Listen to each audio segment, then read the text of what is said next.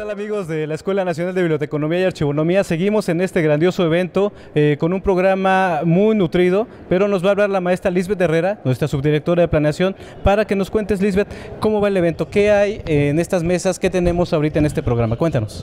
Mira, hemos tenido la participación de gente muy importante que no solo nos traen eh, todos los hallazgos que van ellos eh, día a día en su labor, obteniendo de cada uno de los archivos que son especialistas, sino que también nos han dado esta parte muy humana, donde nos platican sobre algunas de sus anécdotas que a más allá de hacer ameno este, la sesión, bueno, te deja pues imaginarte de los alcances que implica eh, y de lo lindo que es propiamente la, la profesión del archivo, ¿no? del archivista.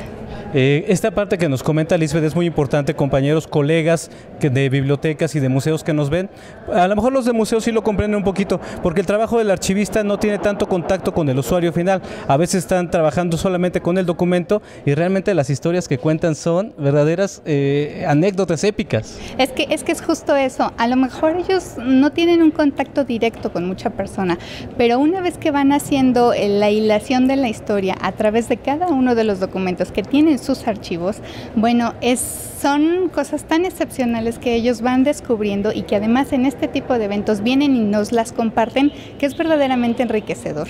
Ahí es tal vez una de las grandes razones de ser de los archivos, de la profesión, de los archivistas y de siempre tener este cuidado, que no nada más los historiadores se, se den el lujo y se degodeen este, con, con los documentos y estarse imaginando este, a las personas en su momento histórico ¿no? Es fabuloso. Es Día del Archivista. Felicidades a todos los colegas que nos ven en Sudamérica, Centroamérica, en España y los colegas de habla hispana en Canadá y Estados Unidos. Hay productos que van quedando de todas estas reuniones, aparte del anecdotario y de, poder saludar a los amigos del norte, del sur del país. ¿Qué productos vamos a obtener? ¿Qué viene después de estas jornadas cuando terminen, obviamente?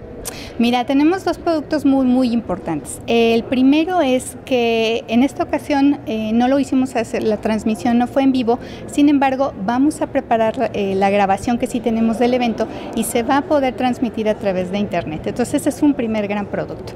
Ya tienen la posibilidad en que, ustedes no hayan podido asistir al evento, sí podrán ser partícipes de todo lo que aquí se compartió. La segunda, bueno, son las memorias. Mira, esta es la memoria del simposio del año anterior. Esta es la versión impresa, por supuesto. Cada que las personas tienen la oportunidad de asistir al evento, que en este caso es nuestro tercer simposio, les obsequiamos la memoria del evento anterior y en caso de que no puedan asistir, este, pueden solicitar la versión impresa a la escuela con una servidora, por supuesto, o bien pueden entrar a la página de la EMBA, www.emba.gov.mx, buscar eh, el apartado de publicaciones institucionales y ahí de inmediato van a poder este, consultar, en este caso, esta y las memorias anteriores, tanto de simposio de archivos como del Foro eh, Nacional de Profesiones. Pues bueno amigos, tienen toda la información disponible. Eh, aquí abajo vamos a poner la liga para que tengan acceso a las páginas y pues nada más mandar un mensaje para todos los que nos van a ver en redes sociales. Pues muchas gracias, por favor este, sigan participando con nosotros. Nos interesa no solo que vengan a estos eventos, si este, tienen la inquietud de escribir, por favor, nuestra revista, Revista de Bibliotecas y Archivos, está a su disposición también pueden obtener información al respecto y sobre todo muchas, muchas, muchas felicidades a todos los archivistas. Pues bueno, aquí estamos, Lisbeth, Paco del Reyo. Vamos a seguir en este gran evento en el primer día de actividades aquí en la EMBA.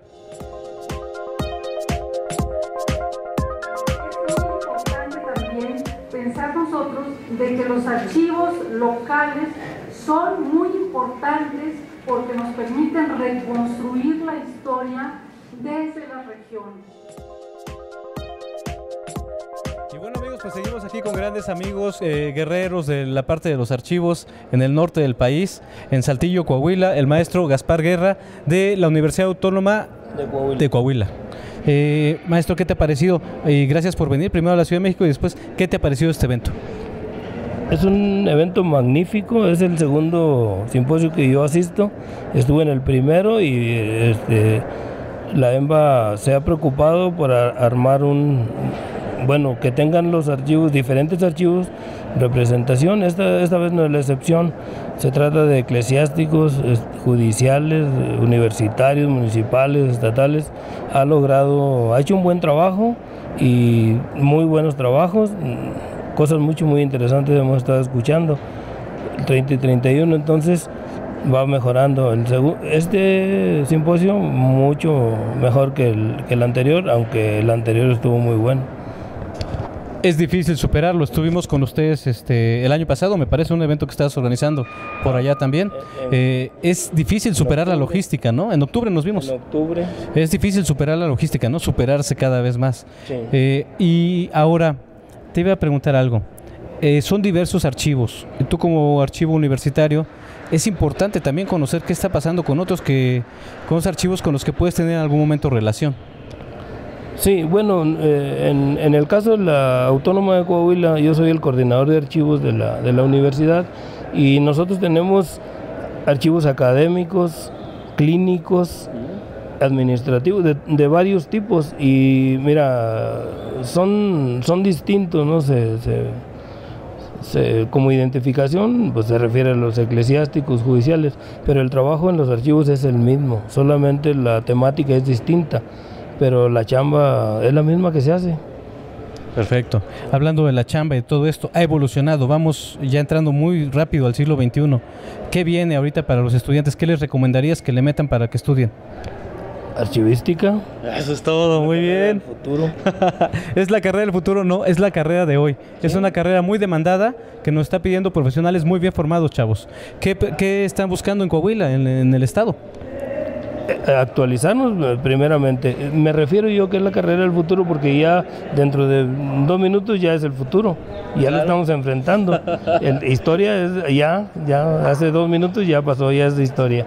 No, este, en, Coahuila nos estamos preparando, nos seguimos actualizando, por eso andamos acá y acudimos a cuanto evento nos invitan y nos damos cuenta, analizamos y vemos las temáticas y acudimos porque es una necesidad, no podemos quedarnos este, rezagados.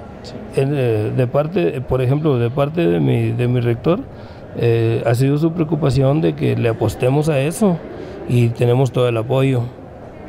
Pues qué bueno, felicidades de verdad a todas las autoridades eh, allá en Coahuila, a todas las autoridades que apoyan a la gente de archivos. Es muy importante que los apoyen para estos procesos de actualización, que los ayuden a encontrar salidas, porque a veces en una plática de pasillos se encuentran salidas como para resolver problemas.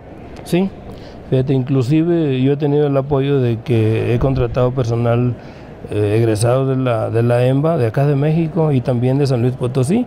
Entonces eso demuestra que hay una preocupación por atender las necesidades que puede haber en los archivos, que primordialmente en el norte es en su personal.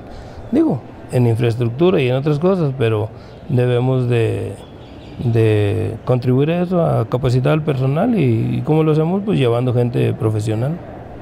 Y bueno, pues un gran saludo a todas las escuelas de, archivística en el país y a todos los estudiantes y a las comunidades de esas escuelas. Un gran saludo. Estén pendientes de las transmisiones y de la transmisión que se va a hacer eh, por YouTube de este evento. Gaspar, un saludo para la gente que nos ve en las redes.